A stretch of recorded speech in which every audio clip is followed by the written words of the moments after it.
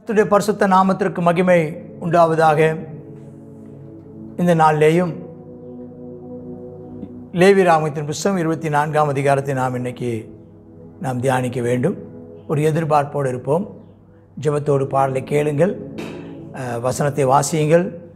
நீங்கள் இன்னும் வேகமாக வாசிட்டு விடாதீங்க. நிறுத்தி இப்போ நாங்கள் நான் கொஞ்ச நேரம்தான் உங்களோடு கூட பகிர்ந்து கொள்கிறேன். உங்களுடைய சிந்தனையை தூண்டுவதற்காகவும் அதோடு கூட சேர்ந்து தியானம் தியானிப்பதற்காகவும் நீங்கள் இன்னும் கொஞ்சம் கூட வேதவசனத்தில் ஆராய்ந்து பார்க்க தூண்டுகிற ஒரு தூண்டுகோலாக இந்த தின தியானம் அமையும். இந்த நாள் முழுவதும் கர்த்தர் உங்களை ஆசீர்வதிப்பாராக. ஆமேன். பரிசுத்தமாக்கும் உன்னத தேவன் நம்மோடு கூட இருக்கிறார்.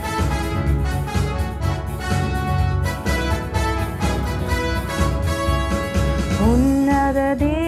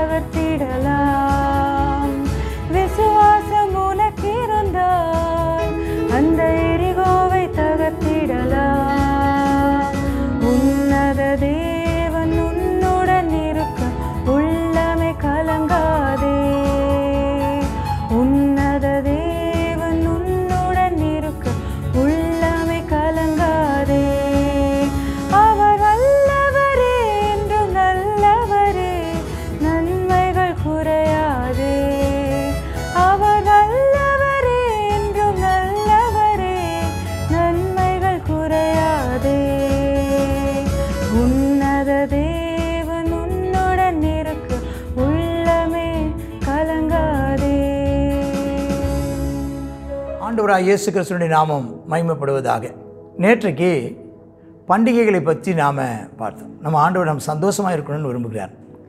அதுவும் என்ன சந்தோஷமாக நியாயப்பிரமாணத்தை வாசிக்கிறதுல சந்தோஷம் ஆண்டவரை ஆராதிக்கிறதுல சந்தோஷம் ஆண்டுடைய சன்னிதானத்தில் சாப்பிடுவது ஒரு சந்தோஷம் ஆண்டவருக்கு காணிக்கைகளை கொடுத்து பலி செலுத்துவது ஒரு சந்தோஷம் ஆண்டவருடைய நிமித்தம் அந்த சமாதான வழிகளை செலுத்தி அவன் ஐக்கியமாக இருப்பது தேவ சமூகத்தில் ஒருமனப்பட்டு இருப்பது ஒரு சந்தோஷம். இது பண்டிகைகளை குறித்ததான முக்கியமான விஷயங்கள். இன்றைக்கு இருபத்தி நாலாம் அதிகாரத்தில் நாம் வாசிக்கிறோம். பின்னும் கத்த மோசை நோக்கி குத்து விளக்கு எப்போது எரிந்து கொண்டிருக்கும்படி. அதற்காக இடித்து பிழிந்த தெளிவான ஒளிவு எண்ணெயை இஸ்ரேல் புத்திரவனத்தில் கொண்டு வரும்படி அவளுக்கு கட்டளையிடு. அப்போ என்ன நடக்கும்னா இந்த ஆசிரிப்பு கூடாரத்துக்கு ஆராதனை பண்ண வரும்போதெல்லாம் எல்லோரும் கையில் ஒரு சின்ன ஒரு பாத்திரத்தில் எண்ணெய் கொண்டு வருவாங்க. ஒரு ஆயில். ஆமாம் நல்லெண்ணெய். நல்லெண்ணெய்னா என்னது? இந்த நல்ல இடித்து பிழிந்த தெளிவான ஒளிவ எண்ணெயை கையில் ஒரு கொண்டு வருவாங்க. அப்போ சும்மா வரக்கூடாது என் கை என்னுடைய சன்னிதானத்தில் வெறுங்கையாக வராது. அப்போ அட்லீஸ்ட் ஒரு எண்ணெயாவது கொண்டாந்து குத்து விளக்கில் எண்ணெய் ஊற்றுரு கட்டளை இடுங்கிறாங்க. அப்போ எல்லோரும் நினச்சிவாங்களா வரிசையாக எண்ணெயை கொண்டு வருவாங்க அப்படின்னு பார்க்குறோம் அப்போ அந்த முதலாவது சொல்லப்போனால் ஒன்றாம் வசனத்துலேருந்து நாலாம் வசனம் வரைக்கும் நித்திய விளக்குங்கிறாங்க. இந்த குத்து விளக்கு இருக்குது பார்த்தீங்கன்னா அந்த குத்து விளக்கு பேர் நித்திய விளக்கு. அந்த குத்து விளக்கு பேர் இன்னொரு இன்னொரு வார்த்தை என்னென்னா தேவனுடையதான முக பிரசன்னம் ஆமாம் ஆமாம் ட ஒன்று சொல்கிறாங்களே கத்தர் உங்கள் மேல் உங்களை பிரகாசிக்க பண்ணி அது இந்த குத்து விளக்கு மனோரா அப்படிம்பாங்க. அது தேவனுடையதான முகப்பிரகாசத்தை நம்ம காமிக்கிறது. அது ஏழு அகல்கள் கொண்டதாக இருக்கிறதுனால ஏழு கிளைகள் அது ஆவியானவருடைய ஏழு ஆமாம் ஆமாம் அந்த அம்சங்களுக்கு ஒப்பனையாக இருக்கிறது பார்க்குறோம். இந்த ஆசரிப்பு கூட சாட்சி சன்னிதானத்தின் திரைக்கு வெளிப்புறமாக அருண் எப்போதும் சாயங்காலம் மட்டும் காலை வரைக்கும் நல்லா எரியும்படி ஆகிய எண்ணெயை ஊற்றணும் நித்திய கட்டளைன்னா இன்றைக்கி வரைக்கும் நடக்கணும். அப்போ இன்றைக்கி நடக்குதா? இது நித்திய விளக்குன்னு சொல்லப்பட்டிருக்கே. இது யாரை குறிக்கிறது? இந்த நித்திய விளக்கு இயேசுவை குறிக்கிறது. இயேசு சொன்னார் நானே அவன் உலகத்திற்கு ஒளியாக இருக்கிறேன். நானே உலகத்திற்கு யோவான் ஸ்நானை பற்றி சொல்லும்போது சொன்னார் அவன் எரிந்து பிர பிரகாசிக்கும் விளக்காக இருந்தான். அப்போ நம்மளை பார்த்து கருத்தை சொல்கிறாரு மற்ற அஞ்சாம் அதிகாரத்தை நீங்கள் இந்த பூமிக்கு வெளிச்சமாக இருக்கிறீர்கள் அப்போ நாம் தான் அப்போ நித்திய விளக்கு எப்போது எரியணும்னா அதுக்கு என்ன தேவை? எண்ணெய் தேவை. அந்த எண்ணெய் எதை குறிக்கிறதுன்னு கேட்டிங்கன்னா பரிசுத்த ஆவியாண்ட அபிஷேகத்தை குறிக்கிறது. அப்போ நீங்களும் நானும் பிரகாசிக்க வேண்டும். எங்கே பிரகாசிக்க வேண்டும்? இருளுள்ள இடத்துல நம்ம பிரகாசிக்க வேண்டும். எது இருளுள்ள இடம் அப்படின்னு கேட்டிங்கன்னா நமக்கு இருக்கிறது எதுன்னு கேட்டிங்கன்னா இந்த இரவு நேரங்களில் கர்த்தருக்காக நம்ம பிரகாசிக்க வேண்டியது அவசியமாக இருக்கிறது. அதுக்கப்புறம் பார்த்திங்கன்னா அஞ்சாம் வசனத்திலிருந்து ஒன்பதாம் வசனம் வரைக்கும் இப்போ மேஜையை பற்றி உள்ளதான அந்த விளக்கத்தை பற்றி சொல்லப்பட்டிருக்கு. அது பார்த்திங்கன்னா ஒரு மெல்லிய மாவை எடுத்து பன்னிரெண்டு அப்பங்களாக சுடுவாயாக. ஒவ்வொரு அப்பம் மரக்காலில் பத்தில் ரெண்டு பங்கு மாவினாலே செய்யப்பட வேண்டும். நம்ம நினைக்கிறத காட்டிலும் அந்த அப்பங்கிறது பெரிய அப்பமாக இருந்திருக்கு. கிட்டத்தட்ட ஒன்றே ஒரு ஆளுக்கு போதும் போல தெரியுது ஒரு பிரேக்ஃபாஸ்ட்டுக்கு அது மி- மிச்சமாக தான் இருக்கும் நல்ல தடியாக நல்ல அது இப்போ என்ன சொன்னீங்கன்னா அந்த பெரிய ரவுண்டான ஒரு ஊத்தாப்பம் போட்டால் அப்படி இருக்கும்? அதை மாதிரி அடுக்கி வச்சுருந்துருக்காங்க பன்னெண்டு. அது தே மேஜை மேலே அடுக்கி வைக்கப்படுமா? அதில் தூப வர்க்கம் போட வேண்டுமா? அது ஆண்டவருக்கு ஆமாம் தகனப்படியாக இருக்குமா? எட்டாம் வசனம் சொல்வது இதுவும் நித்திய உடன்படிக்கையாக இஸ்ரேல் புத்தர் கையிலே வாங்குங்கள். அவங்களும் வீட்டில் உட்காந்து என்ன செய்யணுமா? வீட்டில் உட்காந்து அந்த மாவை இடித்து மாவு மாவு இடித்து அப்போ அந்த மாவு இடிச்சு இந்த மாவிளக்குன்னு சொல்கிறாங்க பார்த்துருக்கீங்களா? மாவு இடித்து எண்ணெயை கொண்டு வரணும். எண்ணெயும் மாவும் கொண்டு வரணும். அவங்க அந்த நித்திய உடன்படிக்கையாக இஸ்ரேபுத்தரில் வாங்கி அதை அடுக்கி வைக்கணும் அப்போ ஒவ்வொருத்தரும் நினச்சிவாங்களா? அப்போங்களே அவனே செய்வான். அதுக்குன்னு ஒரு அளவு இருக்குது அப்போ மாவை கொண்டு வர சொல்லுவாங்க. மாவு மாவையும் எண்ணெயும் ஆமாம் ஜனங்கள் நினச்சிவாங்க. அந்த சமூகத்தப்ப மேஜையினுடைய வைப்பதற்கான அப்பத்துக்கு தேவையான மாவையும் குத்துவிளக்கு எரிவதற்கு தேவையான எண்ணெயையும் இஸ்ரவேல் ஜனங்கள் ஆசரிப்பு கூடார வாசலுக்கு வரும்போது ஒவ்வொருவரும் கொண்டு வருவாங்க. அப்போ அதுதான் ரொம்ப ஆசீர்வாதமாக இருக்கும். அதை யாருக்குரியதுன்னு கேட்டிங்கன்னா அது ஆரோனுக்கும் அவனுடைய குமாரருக்குரியது. அவர்கள் அந்த பரிசுத்த ஸ்தலத்தில் புசிப்பா புசிப்பாங்களாம் அது மகா பரிசுத்த ஸ்தலம் பரிசுத்தமாக இருக்கும்னு பார்க்கணும். அப்புறம் பார்த்திங்கன்னா பத்தாம் வருஷம் முதல் பதினாறு. இதில் என்ன சொல்லப்பட்டிருக்கு? முதல் சிறைச்சாலை. அது என்ன முதல் சிறைச்சாலை? முத முதல் பைபிளில் சொல்லப்பட்டிருக்கு. முதல் ச- சிறைச்சாலை முதல் விசாரணை கைதி அப்படிங்கிறத பார்க்குறோம். இது யாத்ராமத்தின் புஸ்தகம் இருபதாம் அதிகாரம் ஏழாம் வசனத்தில் என்னுடைய நாமத்தை வீணிலே வழங்காதிருப்பாயாக. கர்த்தருடைய நாமத்தை வீணிலே வழங்கா வழங்குகிறவனை கர்த்தர் நினைச்சு தண்டியாமல் விட அப்படி பார்க்கணும் இங்கே என்ன நடந்தது அப்படின்னு சொல்லி வேத வசனத்தில் நீங்கள் பார்த்தீங்கன்னா ஒரு இஸ்ரவேல் ஜாதியான ஸ்திரீக்கும் ஒரு எகிப்திய புருஷனுக்கும் பிறந்தான ஒருத்தன் இருந்திருக்கிறான். அவனும் இந்த இந்த ப- ப- இந்த பயணத்தில் வர்றான். அவனும் அந்த புறஜாதியான அவனும் என்ன அம்மா அப்பா வந்து எகிப்தியன் அம்மா வந்து யூதன். அப்போ அவனுக்கு பிறந்தவன். அவனும் அந்த பஸ்கா ஆட்டுக்குட்டி ரத்தத்தினாலும் செங்கடலை கடந்து எல்லா அனுபவங்களும் பெற்று நியாயப்பிரமாணத்தெல்லாம் கேட்டு நிற்கிற அவனும் இன்னொரு அவனுக்கு இன்னொரு இஸ்ரவேல் நாய் ஒரு மனுஷனும் பாளையத்தில் ரெண்டு பேரும் சண்டை போடுறான் இப்படி சண்டை போடும்போது அந்த அவன் என்ன செய்கிறான்னா கர்த்தருடைய நாமத்தை சம்மந்தமே இல்லாமல் பதினொன்றாம் வசனத்தில் கர்த்தருடைய நாமத்தை அவன் என்ன செய்கிறான்? நிந்தித்து தூசிக்கிறான்.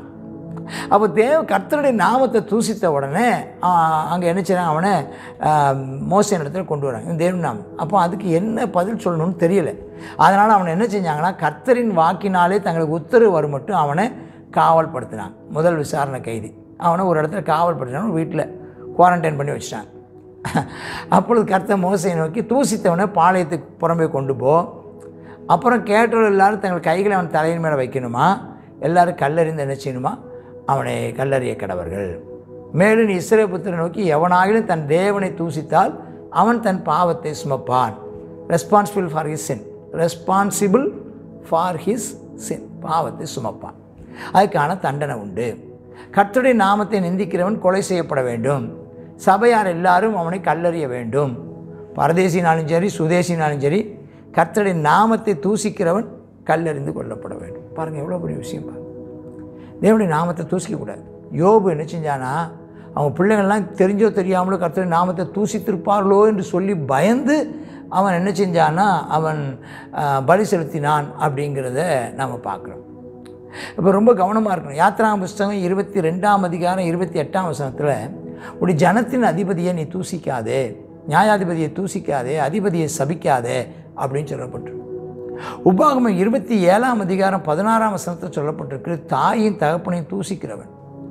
நீதிமொழிகள் ஒரு வசனம் இருக்குது தாயின் தகப்பனை தூசிக்கனுடையதான தாயின் தகப்பனையும் கனவீனம் பண்ணுகிறனுடையதான விளக்கு காரிருடில் அணைஞ்சு போயிடும் அப்படின்னு சொல்லப்படும் தீர்த்து எழுதின புஸ்தகம் மூணாவது ரெண்டாம் வசனம் புதிய ஏற்பாடு. எப்போவுமே நான் சொல்லுவேன் பாருங்கள் புதிய ஏற்பாட்டில் கூடுதலாக இருக்கும். புதிய ஏற்பாடு சொல்லிடுச்சு அது அதிபதியோ நியாயாதிபதியோ தாயோ தகப்பனோ. ஒருவனையும் தூசியாது. அப்படின்னு சொல்கிறத நாம் பார்க்குறோம் சரி இன்னொரு பகுதி நாலாவது ஒரு பகுதியாக பார்க்குறோம். பதினேழாம் வசனத்துலேருந்து இருபத்தி ரெண்டாம் வசனம் வரைக்கும் நியாயப்பிரமாணத்தினுடைய சாராம்சம். அதனுடைய ஒரு என்ன அதில் நியாய நியாயப்பிரமாணத்தை பொறுத்தவரை யாருக்காவது ஒருத்தருக்கு ஒரு பாதிப்பு ஏற்பட்டால் அந்த பாதிப்பை ஏற்படுத்தினவனுக்கும் அதே பாதிப்பு. அதான் பழிக்கு பழி. பழிக்கு பழி. இது நிறைய கதைகள்லாம் பார்க்குறோம். ஒருத்தனுக்கு பல்லு பல்லை உடச்சிட்டான்னு வச்சுக்கோங்களேன். ஒன்று ரெண்டு மூணு நாலு நாலாவது பல்லை உடச்சிட்டான். இடது பக்கத்துலேருந்து நாலாவது பல்லை உடச்சிட்டான்னா கரெக்டாப்பா உனக்கும் இடது பக்கம் ஒன்று ரெண்டு மூணு நாலு. டொக் நாலாவது பல்லு முடிஞ்சுது. உடஞ்சி விழுந்துருச்சா? சரி பாம்பா அது மாதிரி ஆண்டவர் பழி வாங்குதல். தேவன் தான் பழி வாங்குவார். நீங்களாக பழி வாங்கக்கூடாது. ஆனால் புதிய ஏற்பாட்டில் வரும்போது சொல்கிறாரு நீங்கள் பழிக்கு பழி வாங்காமல் அந்த பழி வாங்குதலை கர்த்தரிடத்தில் விட்டு விடுங்கள். அப்படின்னு சொல்கிறார் அது ரொம்ப புதிய ஏற்பாட்டு அது இது வந்து கண். அப்போ பழைய ஏற்பாட்டில் என்னென்ன? கண்ணுக்கு கண் பல்லுக்கு பல்லு. அப்போ பிரமாணத்துக்கு அவன் என்ன என்ன தப்பு பண்ணானோ அதுக்கு தக்க மாதிரியான அந்த தண்டனையை அவனுக்கு கொடுக்கணும். நொறுக்குதலுக்கு நொறுக்குதல். அப்புறம் ஊனப்படுத்திட்டான்னா இவனும் ஊனப்படுத்தணும். மிருகத்தை கொன்னா அது பதில் ஒன்று கொடுக்கணும். மனுஷனை கொண்டுட்டான்னா இவனும் என்ன செய்யப்பட வேண்டுமா? கொலை செய்யப்பட வேண்டும். இவன் என் மற்றவனுக்கு என்ன செஞ்சானோ அதே மாதிரி அவனுக்கு செய்யணும். ஆனால் பைபிளில் சொல்லுக்கு எனக்கு அவன் செய்தது போல் நானும் அவனுக்கு செய்வேன் என்று நீ சொல்லாத. பழி வாங்குதலே உங்களுக்குரியதல்ல. பழி வாங்குதல் கர்த்தருக்குரியது. ஆகினால அது தேவனிடத்தில் விட்டு விட வேண்டும். பழைய ஏற்பாட்டிலையுமே பழி நம்மளாக பழிக்கு பழி வாங்கக்கூடாது. நியாயாதிபதியில் போக வேண்டும். நியாயாதிபதி அதற்கான நியாய தீர்ப்பை கொடுப்பான் என்பதை நாம் பார்க்கணும். இதுதான் இந்த நாளில் நமக்கு கொடுக்கப்பட்டதான இந்த இருபத்தி நாலாம் அதிகாரத்தில் உள்ளதான சாராம்சம். கர்த்தர் நம்மை ஆசீர்வதிப்பாராக. அப்போ நாமும் கவனமாக இருந்து கர்த்தருக்கு ஏற்ற வழிகளில் நடக்க நம்மை ஒருமுகப்படுத்துவோம். கர்த்தர் நம்மை ஆசீர்வதிப்பாராக. ஆமேன். கர்த்தருடைய பரிசுத்த நாம் மயப்படுவதாக இந்த நாளிலும் நம்ம அநேக விஷயங்களை குறித்து நாம் கற்றுக்கொண்டோம். நாம் விளக்குக்கு எண்ணெயை கொண்டு போகிறவர்களாக இருக்கணுமா? மாவு மெல்லிய மாவு அப்பத்தை சமூகத்தப்ப மேஜைக்கு மெல்லிய மாவை கொண்டு போகிறவர்களாக இருக்கணுமா? அதான் தெஸ்ல ஒன்று ஐந்தாவது அதிகாரத்தில் பார்க்குறோம். நீங்கள் எல்லாரும் வெளிச்சத்தின் பிள்ளைகளும் பகலின் பிள்ளைகளுமா இருக்கிறீர்கள். நாம் இரவுக்கும் இருளுக்கும் உரியவர்கள் அல்லவே. ஆகையால் மற்றவர்கள் தூங்குகிறது போல் நாம் தூங்காமல் விழித்து கொண்டு தெளிந்தவர்களாக தெளிந்தவர்களாக இருக்க கடவும்னு சொல்லி சொல்லப்பட்டிருக்கு. ஆகையினால நம்ம என்ன செய்யணுமா? எப்போவும் நம்ம ஆவிக்குள் நிறைந்தவர்களாய் காணப்பட ஆவியில் நம்ம அனலாக இருக்க கத்தை நமக்கு உதவி செய்வாராக. அது மாத்திரம் இல்லை அப்போன்றது வேத வசனம் வேத வசனத்தை நம்ம எப்பவும் நம்ம படித்துக்கொண்டே இருக்கணும். வேத வசனத்துலேயும் ஆவியோடு உண்மையோடு நம்ம கத்தரை தொழுது கொள்ள வேண்டுமா? ஆகையினால உண்மைங்கிறது வேத வசனம் வேத வசனத்தை நம்ம என்ன செய்யணும்? எப்பவும் நம்ம உடையவர்களாய் காணப்பட கத்தர் வச்சு வராங்க அடுத்ததாக நம்ம தூஷிக்கக்கூடாதுங்கிறது இந்த நாளில் பார்த்தோம். ஆமாம் நம்ம தூஷிக்கிறவர்களுடையதான தீபம் காரில் அணைந்து போகும்னு சொல்லி இந்த நாளில் நம்ம கேட்டோம். ஆகையினால நம்ம யாரையும் தூஷிக்காமல் தேவனை விசேஷமாக தேவனையோ தேவனுடைய பிள்ளைகளையோ தேவனுடையதான சாயலின்படி படைக்கப்பட்டவர்களே தூஷிக்காதபடி கத்த நம்மை காப்பாராக. அடுத்ததாக நாலாவது விஷயம்னு சொல்லப்பட்டிருக்கு பழி வாங்குதல் எனக்குரியது நானே பதில் செய்வேன் என்று சொல்லி கத்தர் சொல்லுகிறார். அதனால் நாம் பழி வாங்காமல் தேவனுடையதான சித்தத்துக்கும் அவருடையதான வழிநடத்துதலுக்கும் நம்ம ஒப்பு கொடுப்போம் கத்த நம்மை ஆசீர்வதிப்பாராக. நம்ம ஜெபிப்போமா? கிருபை தான் எங்கள் நல்ல பிதாவே சர்வவல்லமுள்ள தேவனே இந்த நாளில் கத்தாவே அநேக விஷயங்களை நாங்கள் கற்றுக்கொண்ட தகப்பனே பரிசுத்தாவியானவரே நாங்கள் எப்போவும் கத்தாவே ஆவியில் நிறைந்து காணப்பட அனுக்கிரகம் செய்தலும் கத்தாவி வேத வசனத்திற்கு முக்கியத்துவம் கொடுக்கிறவர்களாக அப்போ நாங்கள் காணப்படும் அப்பா உதவி செய்ய வேண்டும் என்று சொல்லி ஜெபிக்கிறோம். வேதத்தை கேளாதபடிக்கு தன் செவியை விளக்கிறவனுடைய ஜெபம் அருவருப்பாக இருக்கும் என்று சொல்லப்பட்டிருக்கிறாஜா தகப்பனே நாங்கள் கத்தாவி வேதத்துக்கும் அப்பா வேத ஆமேனப்பா உடைய ஆமேனப்பா ஸ்தோத்திர ஜெபத்துக்கும் பரிசுத்த ஆவியானுடைய வழிநடத்துதலுக்கும் நாங்கள் முக்கியத்துவம் கொடுக்க அனுக்கிரகம் செய்யும். கத்தாவே இந்த நாளிலும் கத்தாவே எங்களுடையதான வாயினால் கத்தா எந்த விதத்திலையும் நாங்கள் யாரையும் புண்படுத்தாதபடிக்கு தூஷிக்காதபடிக்கு நீர் எங்களை பாதுகாத்துக்கொள்ள வேண்டும் என்று சொல்லி ஜெபிக்கிறோம். கத்தாவே ஸ்தோத்திரப்பா நீர் கத்தாவே ஆமேனப்பா எங்களுக்கு என்ன துரோகம் பண்ணினாலும் கத்தாவே நாங்கள் அதை உம் கத்தர் மேலே எங்களுடைய பாரத்தெல்லாம் வைத்து விட்டு கத்தா நீர் எங்களை சரியாய் நடத்துவீர் என்று சொல்லி நாங்கள் உங்களுடைய சமூகத்தில் ஒப்புக்கொள்ள கொடுத்து பொறுமையோடு காத்திருக்க உதவி செய்யுங்க. தகப்பனே ஸ்தோத்திரப்பா. நீர் எங்களை சரியான பாதையில் தான் நடத்துவீர் என்கிற ஒரு விசுவாசத்தை கட்டளையிடுங்க. இந்த நாள் விசேஷமாக கத்தாவே இந்த அப்பா அந்த கொரோனா வியாதிக்காக ஜெபிக்கிறோம். பரிசுத்த பிதாவே இந்த நாளில் கத்தாவே சீக்கிரமாக அதற்கு ஒரு ஆமை இம்மட்டும் வா மிஞ்சி வராதேன்னு சொல்லி கட்டளை கொடுங்க தகப்பனே. நீ ஒரு வார்த்தை சொன்னால் போதும் அப்பா. சூழ்நிலைகள் எல்லாம் மாறி போகுமே தகப்பனே. அப்பா அகில உலகமும் கத்தா உண்மை நோக்கி பார்க்கறது தகப்பனே. அப்பா நீ ஒரு வார்த்தை சொல்லும் தகப்பனே. அப்பா இது எந்த ஒரு மெடிக்கல்லையோ அப்பா எந்த ஒரு மனிதனாலேயோ கத்தாவே அப்பா எந்த ஒரு ஆமேனப்பா ஸ்தோத்திரம். கத்தாவே ஆமேனப்பா ஸ்தோத்திரம். முயற்சினாலேயோ இவைகளை கண்ட்ரோல் பண்ண முடியாது. தகப்பனே நீங்கள் கத்தாவை மட்டுமே இதை செய்ய முடியும்னு சொல்லி நாங்கள் விசுவாசித்து கத்தாவை இந்த வேலை கெஞ்சி மன்றாடி கேட்டுக்கொள்கிறோம். இந்த நாளில் விசுவாச குடும்பங்கள் அப்பா ஸ்தோத்திரம் எல்லாரையும் நீர் வேலையெடுத்து பாதுகாத்து கொள்ளுங்க. எல்லார் மேலும் பூரண கிருபை இருப்பதாக அகில உலகத்தையும் காப்பாற்றுகிற தெய்வம் காப்பாற்றுங்க ஜனங்களுடைய பாவத்திலிருந்து விடுதலையாக்கி அவர்களை நீ ரட்சிக்க வேண்டும் மன்னிக்க வேண்டும் என்று சொல்லி ஜெபிக்கிறோம். தகப்பனை இரக்கம் பாராட்டு உம்முடைய பிள்ளைகள் உம்முடைய சாயலின்படி படைக்கப்பட்டவர்கள் என்பதை நினைவு கூறுவீராக. கத்தாவின் ஸ்தோத்திரம் எங்களை தாழ்த்தி இப்படி ஒப்பு கொடுக்கிறோம் பொறுப்படுத்திக் இயேசுவின் மூலம் ஜெபிக்கிறோம் ஜெபம் கேளும் ஜீவனுள்ள எங்கள் நல்ல பிதாவே. ஆமேன் ஆமேன். கத்திரங்களை ஆசீர்வதிப்பாராக.